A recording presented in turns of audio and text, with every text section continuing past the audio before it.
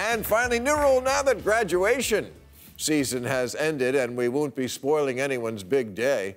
Let's talk about what higher education in America really is a racket that sells you a very expensive ticket to the upper middle class. Hmm. President Biden's American Families Plan asks the taxpayers to pony up hundreds of billions so that everyone can go to college, and billions more for a subsidized childcare so our kids can go to school while we go to school. the theory being that all this education trickles down and eventually gets to Florida. now, Now, the right is calling Biden's plan social engineering, which is over the top, but Biden's plan is an endorsement of a particular idea that the more time humans spend in classrooms staring at blackboards, the better. Liberals see more school the way Republicans see tax cuts as the answer to everything. We imagine going to college is the way to fight income inequality, but actually it does the reverse. If you have a bachelor's degree, you make about 65% more than someone who doesn't. And with a master's degree, it's more like 100% more. And the unemployment rate of college grads is about half what it is for high school grads. I know free college is a left wing thing, but is it really liberal for someone who doesn't go to college and makes less money to pay for people who do go and make more? I'm asking. Especially since colleges have turned into giant luxury daycare centers with overpaid babysitters anxious to indulge every student whim. The University of Missouri has a river grotto inspired by the Playboy Mansion. Texas Tech has one of the largest water parks in the country that includes a 25 person hot tub, tanning deck, water slide, and a lazy river.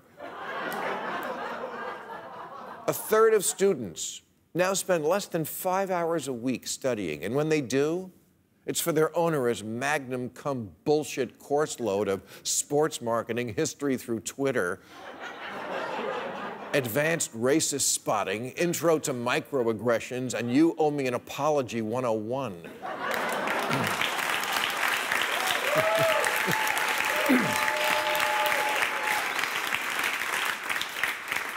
Why is China kicking our ass? Because in 2019, we issued more undergrad degrees in visual and performing arts than in computer and information science or math.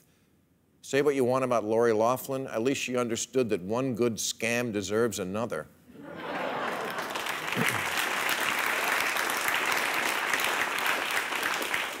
and in the immortal words of her daughter, Olivia Jade, I don't know how much school I'm going to attend, but I do want the experience of like game days and partying. yeah, I'm not fucking paying for that.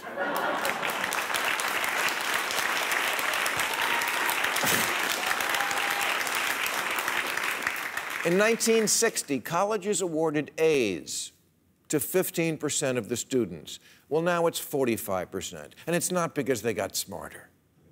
It's because of Adderall. No.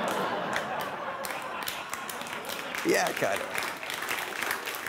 But also, colleges are businesses selling a consumer product for hundreds of thousands of dollars, and they want to give the customers what they want a magical piece of paper called a diploma. But that's only the beginning of the scam. A wannabe librarian needs a master's degree just to get an entry level job filing books. You know, I've heard this from so many nurses and teachers and administrators rolling their eyes when relating how they needed to take some bullshit course in order to advance in their field, when really they already learned what they need by working the job. But in the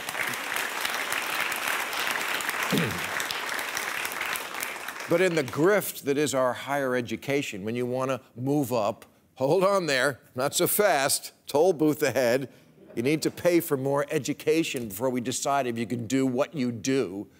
Fuck, this is what Scientology does.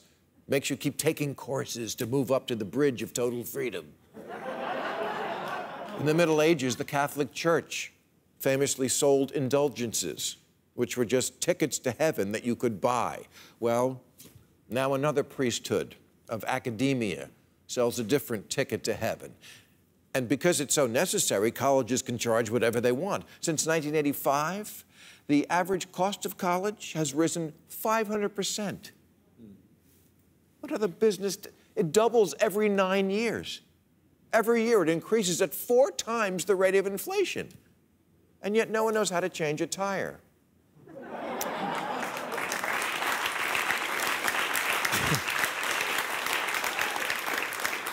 The answer isn't to make college free. The answer is to make it more unnecessary, which it is for most jobs.